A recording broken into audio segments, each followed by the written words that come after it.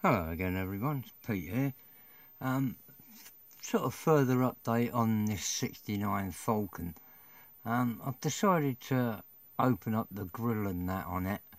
Um, and I will do a few bits and bobs to it as well. Um, I'd like to thank everybody who gave me advice on this kit the other day, um, a couple of days ago. Because I don't really know much about this style of racing. We don't have this over here. Um, it's a basic kit and, and the basic um, build, really. Uh, uh so I'm going to sort of stick with it with a few sort of changes I'm going to do with it. And while I'm here, I noticed on the box art, I don't know whether you can see down there, that that section of bumper is blacked out. The middle section there. And I just wondered whether that was actually a slot. If anyone knows and can help.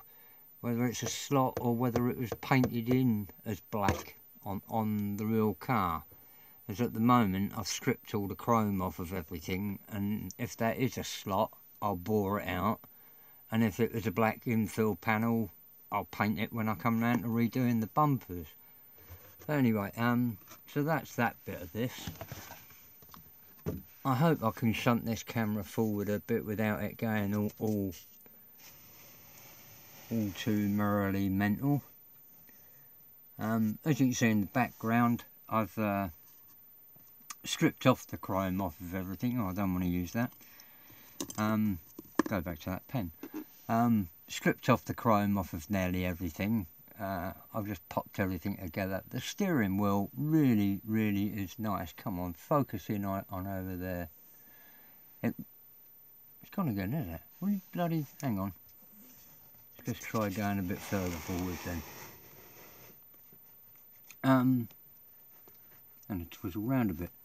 That steering wheel really is, uh, tweezers, tweezers, where are you?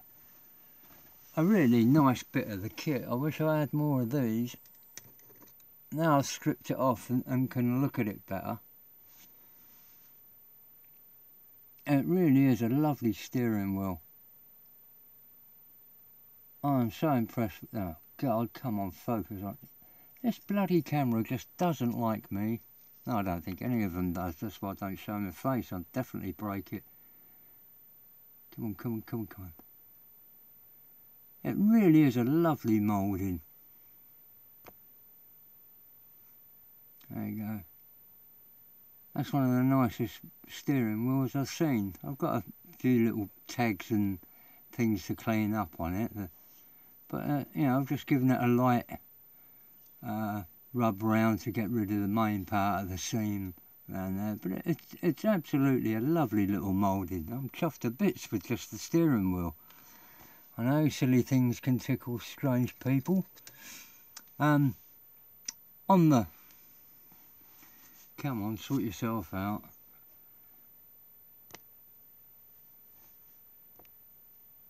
On the uh, back there, why am I on that focus? Not too close. Let's try backing away again. Come on, focus for me, you banana. There we go. Don't know what happened there. Um, that's the cross member of, of the roll cage and it did have a, a big sort of uh, back pad thing on it and I've removed that and I'll, I'll remake another pad. Oh, excuse me. Just had my bowl of gruel and, and uh, that's repeating on me.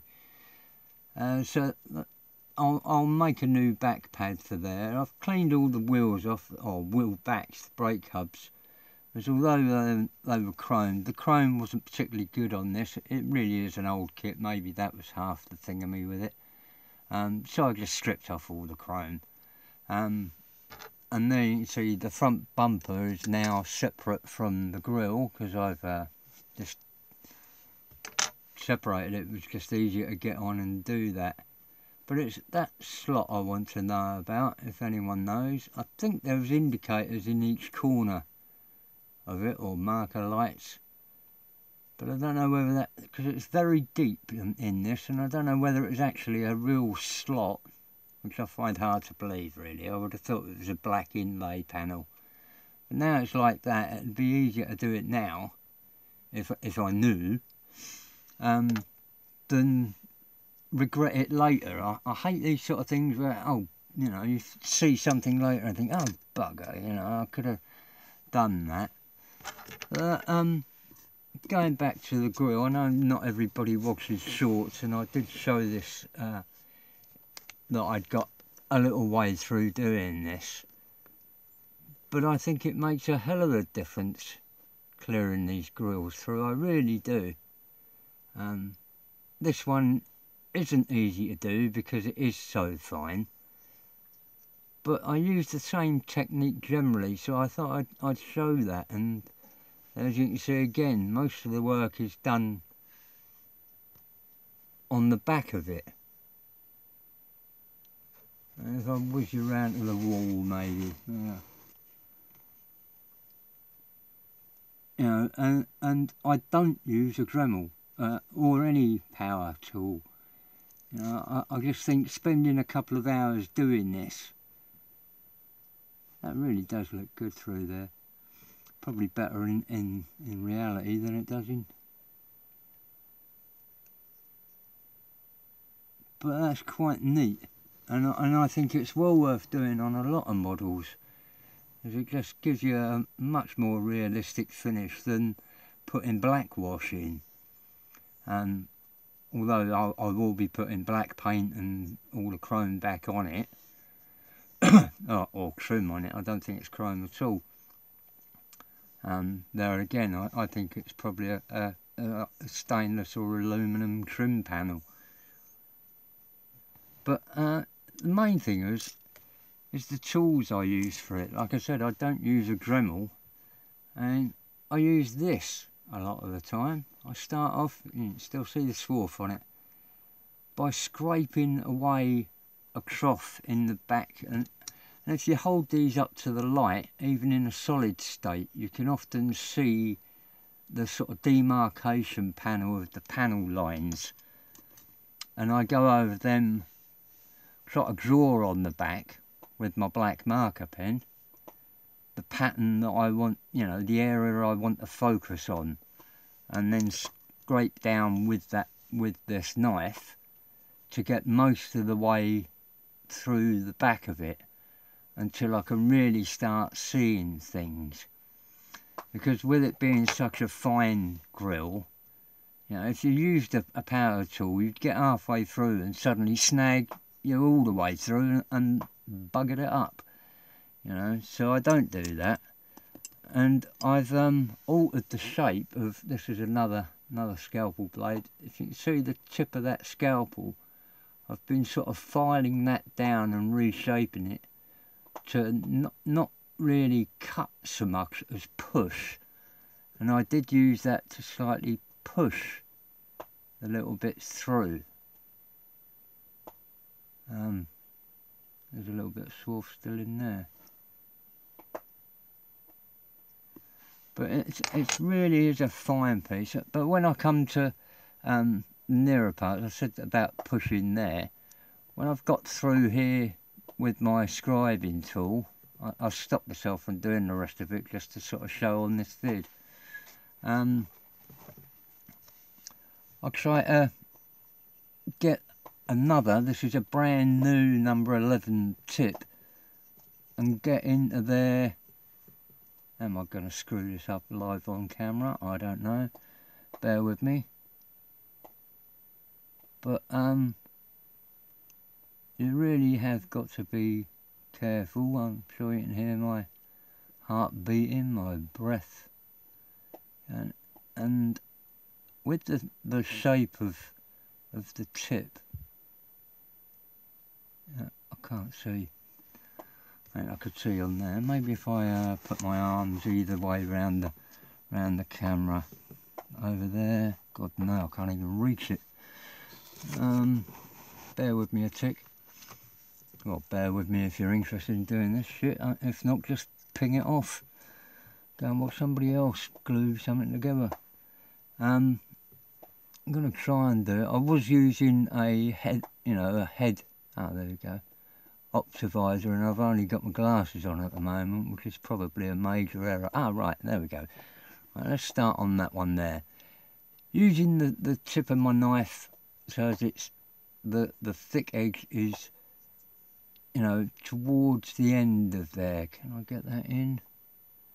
Is that actually showing up right? I can then just really carefully, I mean this is and then turn it around and come the other way. So as most of the swarf is going to come into the middle and, and you just feel it pick away.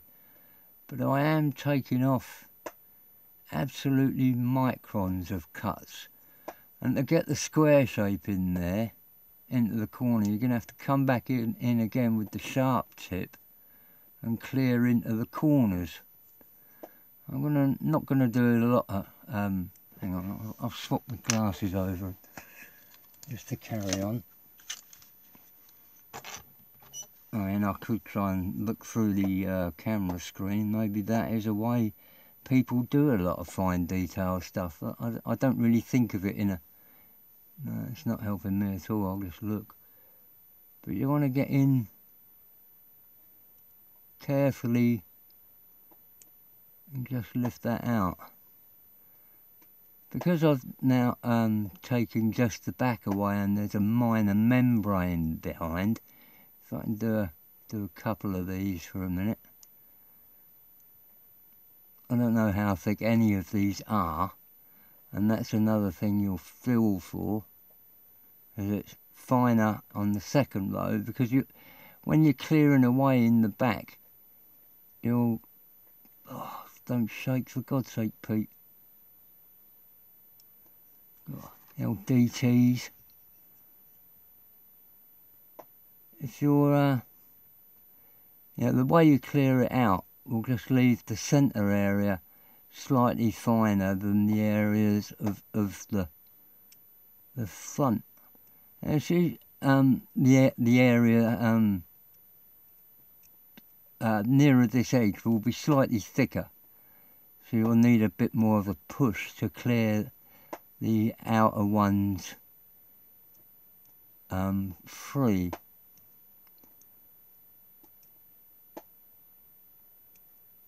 But it is a matter of uh, just delicately working on it and feeling your way through.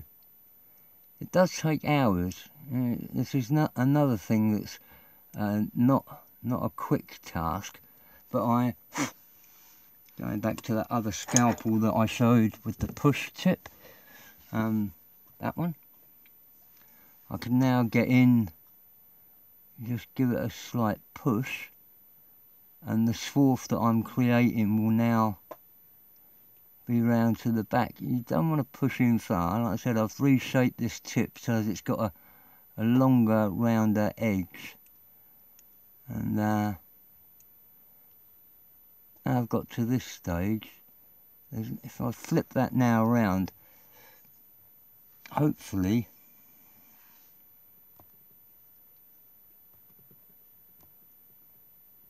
you can see those minor hairs of swarf there sticking up. And that again I'll, still use the dull one here for the moment where is it just drag that away and try to clear it up. And then uh, go back to another one. This is back with the sharp one. Stop it. I'm resting my elbow funny and it's causing twitch. Just get these little bits of swarf out of the way. what we got?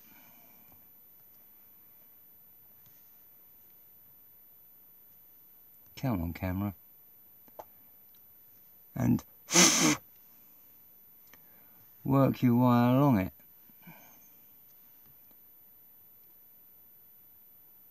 So just start getting it, it cleared up. Now obviously I, this, this isn't totally me doing it properly because I don't want to break this. I don't want to, I can't do it twice, I haven't got another grill. But eventually I'll have it like this and I don't know whether you can see there's just in that area there's a bit of a ripple to it. Now with this being in a in the racing category it is I'm not too worried about this being uh, beaten up a little bit. But on the sort of thicker areas if I feel I need to push more what I've if I haven't knocked it off what I've done is stripped down a um, one of these uh, sanding pads just down to the rubber centre and trimmed it down so as I've got a piece that will go into that back. Uh, here we go. Like that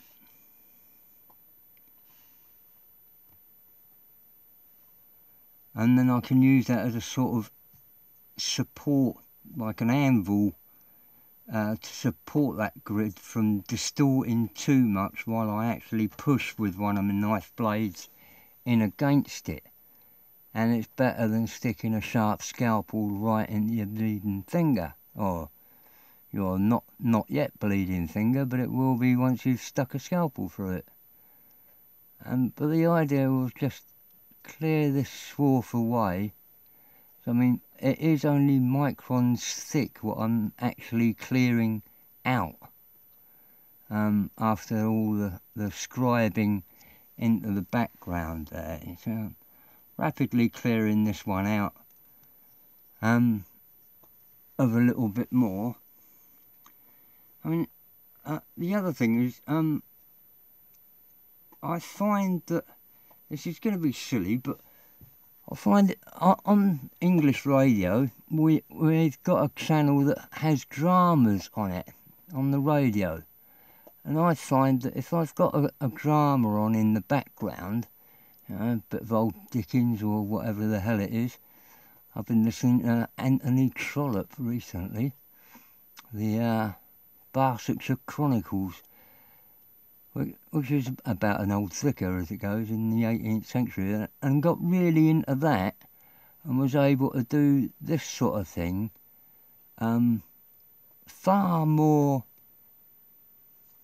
comfortably than if I just had music on in the background. I don't wobble now. I can see an horrible bit of swarf there. I'm going to do stop doing this for the moment. I'm sure you've all got the idea. But having a drama on in the background, I find alters my mental approach. If it's just music, it doesn't help um, distract me from this. The dog's bloody distracting me, chewing her nails. But a drama, I find I get my head right into what's going on on the radio and not uh, not get too stressed out doing this and it works much better. I don't know how but something in, in my brain works different if I'm listening to I've got a crack there. Just broke it in the top corner. It's got, got a little breakage up there. Um, which is one of these bits of dirt off the circuit. Come on zoom into that horrible bit. Just broke it across that little bit there.